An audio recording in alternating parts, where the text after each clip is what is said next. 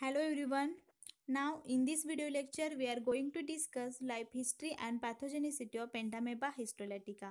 Let's see first the systematic position of the Entamoeba histolytica.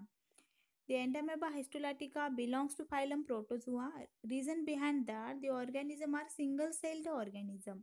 Subphylum Sarcomastigophora because they having a locomotory organ pseudopodium.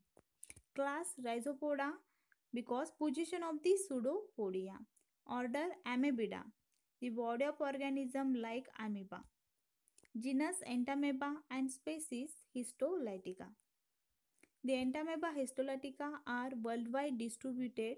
Mostly it occur in the tropic and subtropic areas and it also occur under developing countries. It is an a protozoan parasite lives in mucosal and submucosal layer of the large intestine. The Entamoeba histolytica is a pathogenic parasite of man which lives in the large intestine of man mostly in the uh, anterior part of the large intestine that is a colon region and it feed on intestinal tissue that causes ulcer and abscesses in the wall of the intestine resulting bleeding occurs during feces known as a amoeboic dysentery. This parasite maybe enters into blood circulation and reach the lungs, liver, brain and other organs. The Entamoeba histolytica exists in the two forms. First is a trophozoite form which is a motile cyst form of parasite and second is a precystic form which is a non-motile form of parasite. Let's see here life cycle of Entamoeba histolytica. The life cycle of Entamoeba histolytica completed on only one host that is in the man. The infection occurs via ingestion of contaminated food and water containing mature cyst of parasite that is quadrinucleated cyst or tetranucleated cyst. It is a mature cyst form of parasite having a resistant to the gastric juice of stomach. The Entamoeba histolytica exists in the two form. First is a trophozoite form and second is a precystic form. The trophozoite form of parasite it is an adult form of parasite responsible for infection because this form is a motile form of parasite. It lives in the anterior part of large intestine and the structure of trophozoite form of parasite is a amoeba-like structure. This is an amoeba-like structure, irregular structure having or it covered by plasma lemma membrane.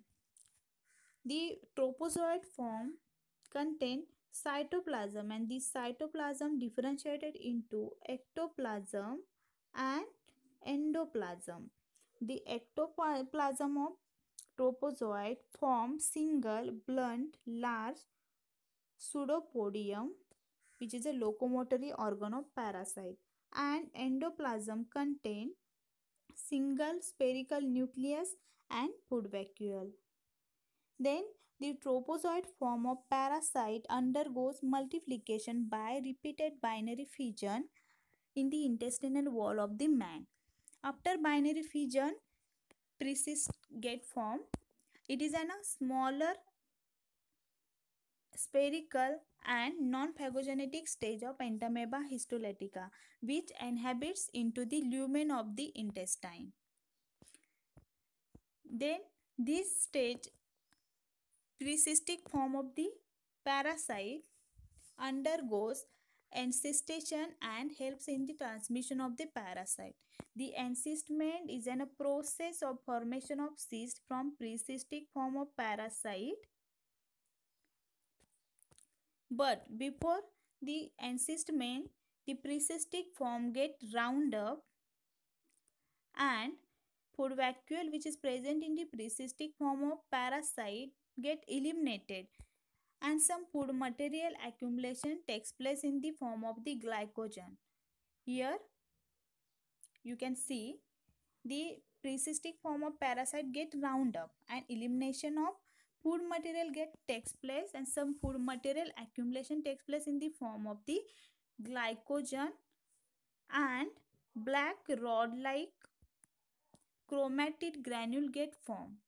Then this precystic form of parasite secrete thin, transparent and rounded wall around the cyst. It contains one spherical nucleus, single nucleus and 2 to 4 chromatid bodies. Then nuclear division is takes place twice and form tetranucleated cyst which having a 4 nucleus and some chromatid bodies. This is a infective stage of parasite tetranucleated cyst. This is a mature stage or cyst of parasite. This stage is an infective stage when this tetranucleated cyst transfer from fecal matter of in infected person and infect to the other person. After infection, this tetranucleated cyst enters into the new host where this tetranucleated cyst again grow and form metacystic parasite. Then these metacystic parasite feed on intestinal wall or intestinal content and grow in size. And after the development of metacystic form of parasite when they feed in the intestinal content the excystment is takes place. The excystment it is a process of transport transform back into the trophozoite form. Then parasite transform into trophozoite form. This is a motile stage of the parasite.